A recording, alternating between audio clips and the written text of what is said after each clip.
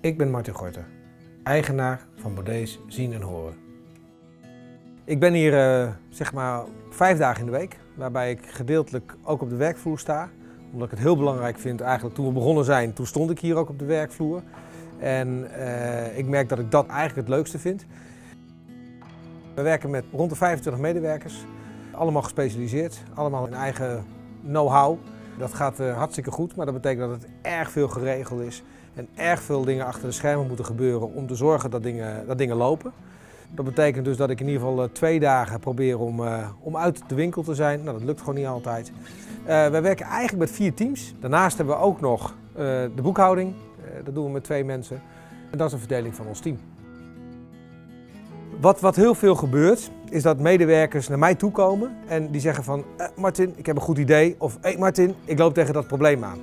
Ik schrijf het op. Maar ja, eh, ook ik heb het heel erg druk.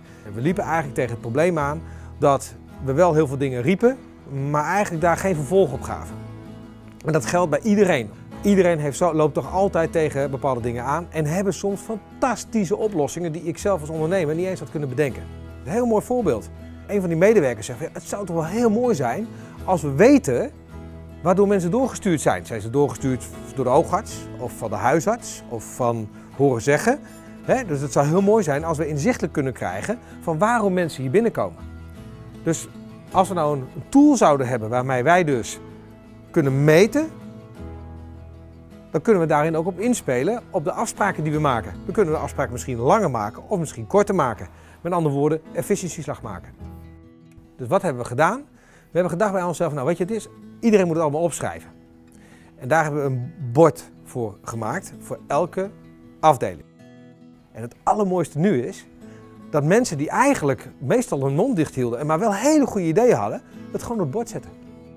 Nou staat op dat bord dat een van de back-office medewerkers tegenaan loopt over dat dinsdagmorgen zoveel gebeld wordt. Alleen, je weet niet waarvoor. Het mooiste zou zijn als we precies weten waarvoor dus een klant belt. En dat kunnen we door middel van durven doen. Wat wij hebben is iTap Count.